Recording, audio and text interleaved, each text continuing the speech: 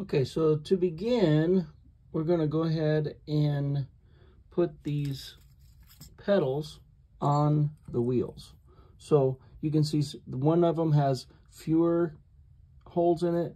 The other one has more holes in it. The one with more holes goes on the bottom. The fewer holes goes on the top. But for now, we're just going to put the petals in here. So let's get our screws. This is where you're going to take this little tool that it comes with and it can hold the, so I put the screw in one side, I put the petal on it, and then you take that little tool to hold the, the nut on there once you screw it in there. So you, you screw this nut on there,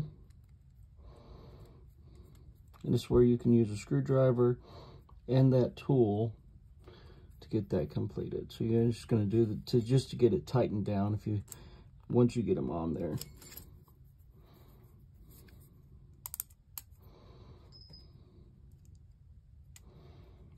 Then you're just going to do the same thing over and over again for for both of these. So please notice we've got these all attached uh, to tighten these down. Uh, a couple of things you can do. First of all, make sure that you tighten with a screwdriver to make it tight. And then when it's spinning, if it still needs a little bit more, which a lot of times just the screwdriver be enough, but if it still needs a little bit more, then put this tool on the end of the nut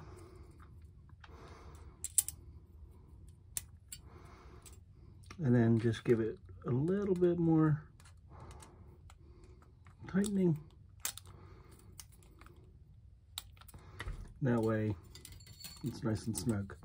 Okay, so these are good, good and tight on there.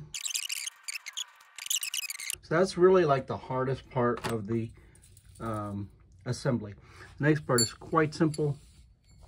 You take this base unit, and start building your stem. You just screw this on as far as it'll go into the base unit. Now, if you'll notice this one, it is slightly bent. So you can see that it doesn't go quite straight. You can, you can, these are very bendable. So you can like bend it so that it is more in line with, so that you end up being able to put it in straight when you put it in the ground you can set it there so where, where it'll go up straight, okay? So these, like I said, these you can bend one way or the other if need be. Now, then once you put this first one in, then you take one of these double threaded bolts, put it in a little ways, take your next piece, and then you just tighten it all the way down, just flush with the other, then we do it again,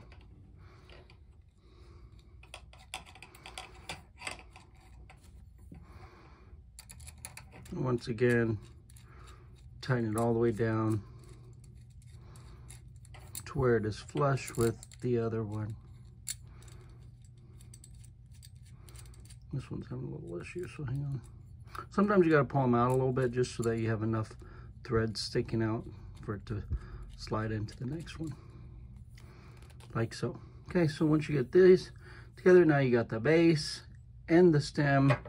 Now what we want to do we put the bigger of the two flowers, ones that has the most petals, goes on the bottom.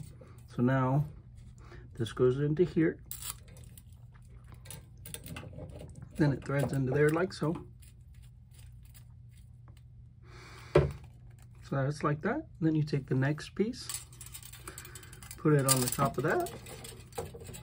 Now what you can do, just so that these don't uh, get tangled around each other, you can kind of take this one and, and bend it up like a little ball so that it goes a little bit tighter. That way when you put it on here, it doesn't smash into the other one as much. And now what you'll want to do is take that last piece that is got no threads on either side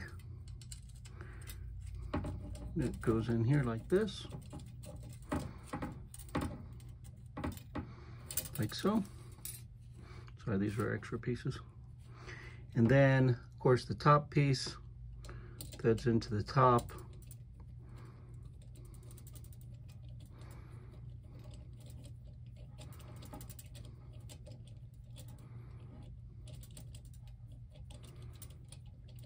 until it's in there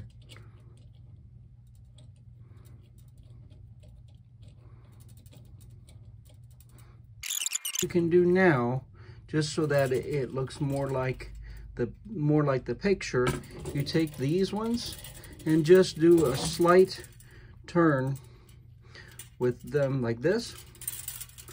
Take all of them and just twist them just slightly to the right like a quarter turn and they bend quite easily. But they are metal so that, that they will hold up well and if any of these are loose, you can just tighten them by hand, or if need be, get your screwdriver out one more time. But yeah, each one of these, you just go slightly one direction, and then you can pull them out a little bit so that it doesn't run into the other one.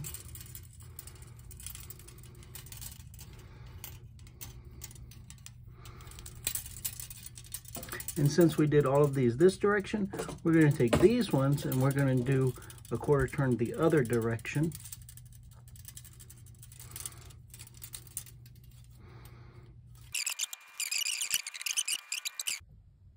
So this is the end result. You can see the tip of it there. Basically, the, you can see the two rows of spinners. One spins one direction, one spins the other. You can bend them so that they uh, look a little bit different if you like, however you like to have them.